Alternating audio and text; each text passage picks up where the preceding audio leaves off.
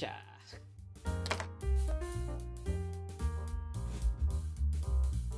Hi everyone, my name is Josh Tseng. Welcome back to my channel where I talk about what it's like to live with blindness. This is going to be the first in a series where I answer some of the most common questions I get every day about what it's like to live as a person with a vision impairment.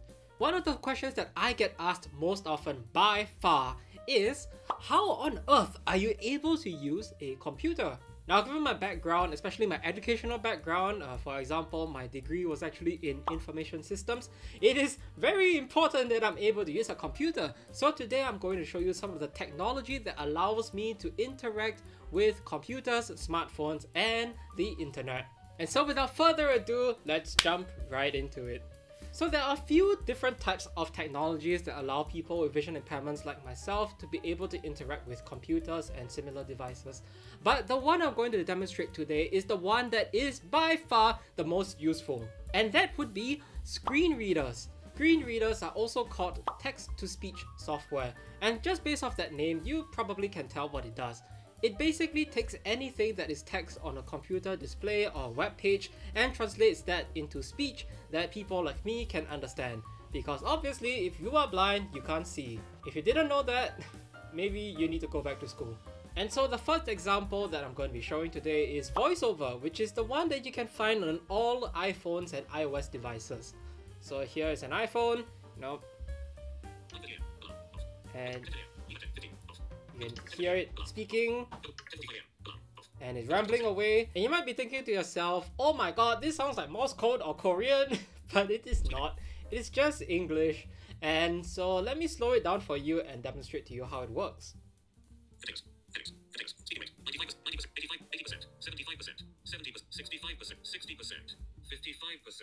There we go. 10:20 a.m.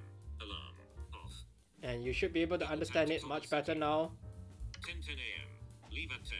15. Off. 9.30 a.m. Alarm. Off. So there you go, that's what it sounds like and when I tap different parts of the screen, it should correspond to what I'm touching. So for example... tab bar, world clock, tab, 1 selected, alarm, tab, stopwatch, tab. There you go, double tap allows me to select something. Zero seconds. What I'm navigating through is just the clock app on the phone. Now you probably aren't able to see it that well because of the lighting and the glare and uh, you know I'm not going to screen record the phone but it probably gives you a good idea of what the phone looks like. Now on the computer, the software is obviously quite different because you know it's Windows, but the functionality is still roughly the same. And so today I'll be demonstrating to you some of the screen readers that you can get on the computer and so let's hop on. So yeah, here we are on my computer where I can demonstrate to you what it's like to use a screen reader. Uh, mine is called JAWS and it's on Windows. So here you can hear it rattling away, you know, making a bunch of sound. And so to demonstrate how it works, I'm gonna let it read a sample of text to you. As you can see here, you know, you're not able to see it and that's okay, that's on purpose, but I'm going to slow the screen reader down. Slower, slower, slower, slower. So that it can be understandable to all of you, and I'm gonna let it read something lovely to all of you. Selected. Never gonna give you up, comma. Never gonna let you down, comma. Never gonna run around, comma, or desert you. gotcha. And yeah, let's just say that's a party trick that I really like to get my screen reader to do, but it's also a fairly memorable way to demonstrate that a screen reader is just a piece of software that converts any kind of text into speech. And so it also doesn't read text that is just already there. So if I were to open a notepad and I can start typing, you would be able to hear that it's reading back to me uh, the characters that I'm typing.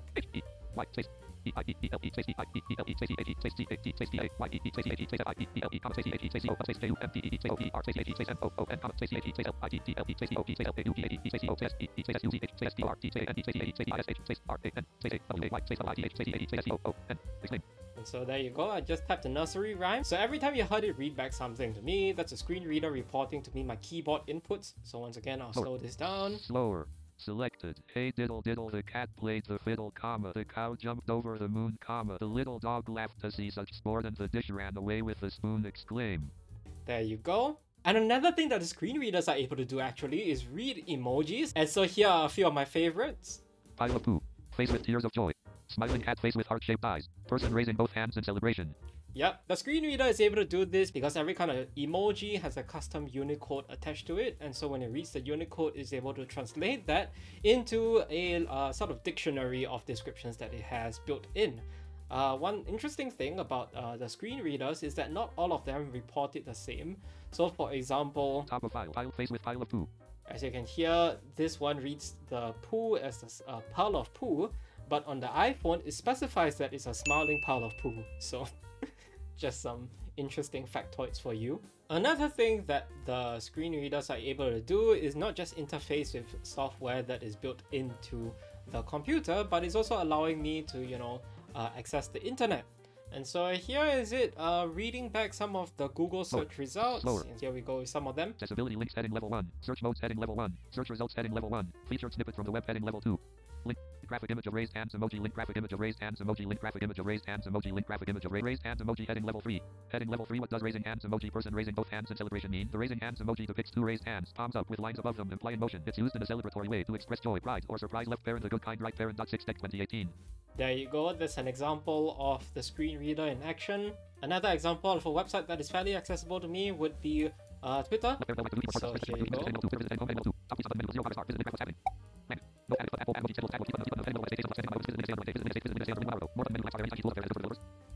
There you go. Yes, I really do listen at this speed, and then again, it's not Morse code, it's not Korean, it is just English sped up really fast.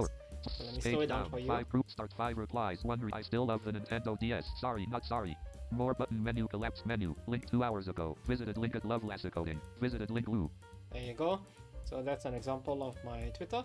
So yeah, uh, the way I'm able to, you know, interface with the computer is I'm basically using a bunch of keyboard shortcuts.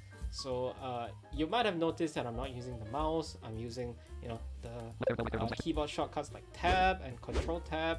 And uh, to go to my desktop, I use Windows D. Folder Folder view Google Chrome 540. There you go. That's my lovely wallpaper with the shocked Pikachu face. So yeah, hopefully that gives you some idea of what it's like for me when I use my computer. Now, I didn't demonstrate anywhere close to the number of things that you can do on a computer using a screen reader, but this is sort of just a sneak peek of stuff that you can do. In the future, I might make more videos on what it's like to use a computer with a screen reader and maybe even with other kinds of assistive technology. So if you think that would be interesting, let me know in the comments. And also, if you have any other questions about what it's like to live with blindness, let me know in the comments below. I might just make a video about it, who knows. And like I said, this is the first in a series where I answer some of the most common questions that people like us with vision impairments get on a daily basis. And so, if you would like to join me on my mission to educate the world about what it's like to live with blindness, click on the like button, hit subscribe, smash that notification bell so you can stay informed about my future uploads. Thanks for watching, and I'll see you next time. Bye!